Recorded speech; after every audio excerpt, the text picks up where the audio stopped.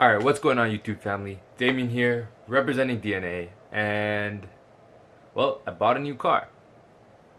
It's my bad for like the clickbaity title, and you guys just saw that clip, uh, but this is, well, new to me, but a used 2011 Volkswagen Jetta, uh, 2.5 SEL. I'm not a car dude, I don't know specs and shit like that, but I'll post like, you know, a list of this car specs like right over there. Um, yeah, so from the clip you probably saw uh, blue exterior, um, beige interior. Oh, okay. beige interior. Um, yeah, I love this. Like this car's been, I've had it now for like two, three days, two days, and it's been amazing so far. Um, but yeah, I guess I'll show you guys. That's like just a little media, um, automatic transmission, and yeah, there's the sunroof is right there whatever. Um i don't know if it's like weird to like say how much i paid but i paid 5k for it cash um, which i thought was a really good deal. I mean i was told it was a really good deal too. Um yeah. Well this is my new car. And the other reason i decided to get a car right now for anyone who maybe is wondering oh you know like why? Um well, first of all, I you know I guess it's just kind of a step in life. Um, I'm graduating with the next well finishing my undergraduate within the next few weeks, and I actually start a full time job at the beginning of next month, and you know I need to get there. So um, I used to share a uh, that beauty over there with my mother. 2011 Honda Civic, um, and it's a great car but I need something for myself now. So yeah, here we are. Alright, what's going on everybody? It's the next day now and I had this package. I actually got this package last week. Um, I know what it is, but I'll show you guys what it is. So,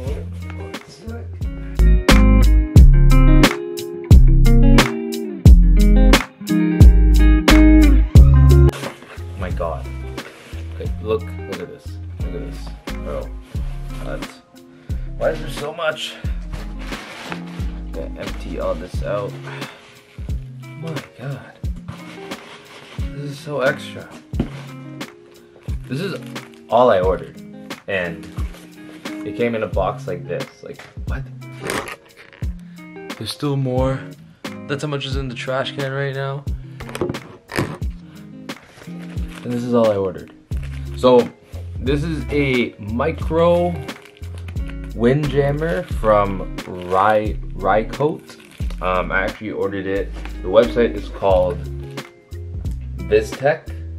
The I'll put in the bio or the description. Sorry. So these are called um, yeah micro windjammers because basically for this model of camera, the M100 EOS M100 um, there isn't a input for a actual mic.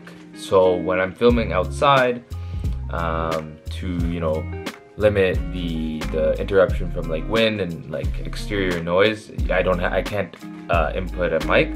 So I got these. They're called wind jammers. So um, that's actually how they look. That little like gray fuzzy thing. Um, and yeah, I will switch over to my phone now to show you guys how to properly install these. Alright, now we're filming on my iPhone here. So this is the uh, camera that I use, the Canon EOS M100. So before installing the windjammers, you're gonna come to the menu page here. Um, this is touchscreen, but I'm just gonna come over to the drop menu 8, move up here to sound recording. So go to the wind filter and autonator setting. I don't know if I said that right. Okay, so we want the wind filter to be um, on auto and come back and the autonator to be on like that. Okay, so um, again, I'm not too familiar with exactly how um, like the specs of all these things, but um, from what I've understood and what I've learned, we need to have these two settings as so. Um, and then we have the windjammers here, Rycote windjammers. So just to give you guys a little breakdown of what it comes with. So these are the windjammers themselves, these little fuzzy puff things. These is what we will be attaching onto two holes right here is where the audio comes out of for the camera. So we will be placing these on top of those and then putting the windjammers on top of this. Sorry this is kind of a weird setup, I've never done this before, so not bad about that.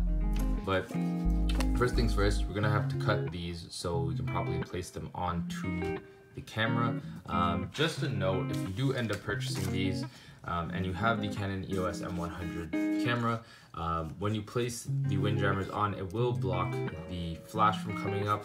And also because of the placement it will block a little bit of the bottom of your screen when you look to tilt it up like that. Um, so that's just a heads up. But I do think that the the windjammers are very useful if you do plan to record outside. Um, so you know those little uh, disadvantages don't really weigh uh, outweigh the advantages that the windjammers um, provide so now we are going to install Okay, so when installing the tabs, this is how you place them. So the pad itself, or these little tab things, sorry, whatever they're called, you're gonna place them over each hole. So I did have to cut one slightly, otherwise you won't be able to use uh, the dial here. Um, but after you install them like that, you'll just peel off this part here, as so. Oh, kind of fucked that. Okay, and, and just make sure that's all right. So that's how it will be there. And then you're gonna take the wind jammers, okay? So the part going back like that, like this, when it goes back like that, so that's, this is actually the front and this is the back of the wind jammer. So you want the front facing the lens, so you're going to place them on top as so.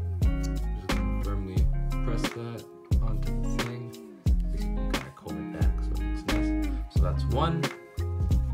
So again, I don't want to disrupt the dial here.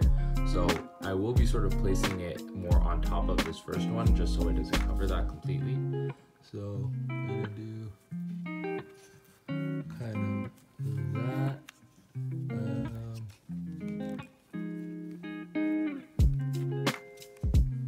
that kind of looks whack. Let me try to adjust that one second. Okay, so we got them on. I actually had to place this one on first and then that one on top just so I can properly still use this knob here, okay?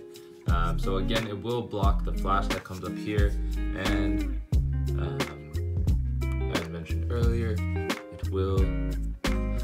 a little bit of the screen if you're holding the camera like that. But I do think that um, having the micro windjammers is very useful um, and that you know your audio will be protected better when you're outside filming and if it's windy or even if it's not windy you just have a little better uh, audio so yeah that's how it looks so again the front will be the side that is like more flat and then the back will be the side that puffs out here like that this isn't the perfect placement but yeah um, there is it does come with a full pack so if I do need to replace um, a few of them here and there. Should be okay. Alright guys, we're outside now testing out the wind jammers. So it's actually not that bad in terms of like it blocking the bottom half of the screen. Um, let me see if you guys can see that. Like, oh, that's not good. Well, anyways, yeah, so we got some wind going, so hopefully the audio is not too disrupted because of that.